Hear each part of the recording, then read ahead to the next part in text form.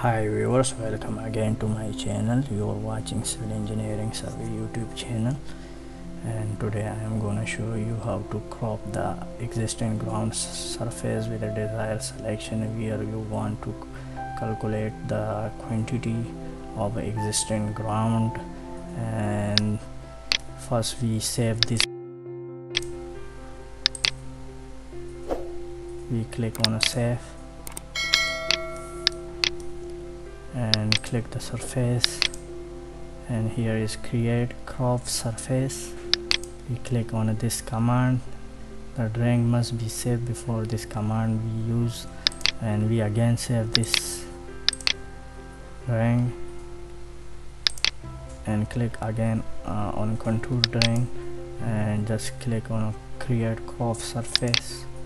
And here is uh, the selected surface of uh, existing. Select method here is two method polygon method object me method. We choose the here polygon.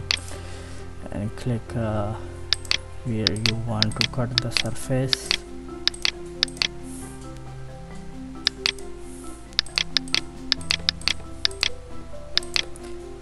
Click on close the boundary already closed. The new surface name ex1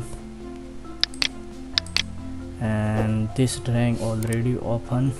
We shift the surface where we the crop the surface and just click on that uh, we the tutor for drawing and here surface style we choose we select here a contour one which is measure in five minor intervals. Just click in and click on ok. And again ok. We check and this drawing here of a new drawing we enter ze command. Surface here. The second method is we if we rectangle draw some boundary draw. We uh, we crop this area and we again use the previous command just click on a contour surface and create crop surface. We must be save this string again and click again existing ground surface and create crop surface and the surface name existing and the method we choose object and click on object enter and click on the on line. This boundary selected.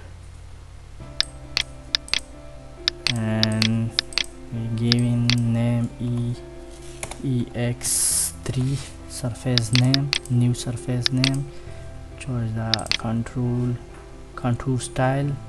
We select the here uh, background click on ok. Just click on ok. Check it.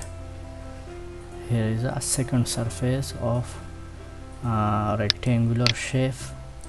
We can easily calculate uh, specify area of uh, selected uh, the boundary line and manually draw a polyline selection this is very easy method. You can use the heel bottom uh, boundary for calculation.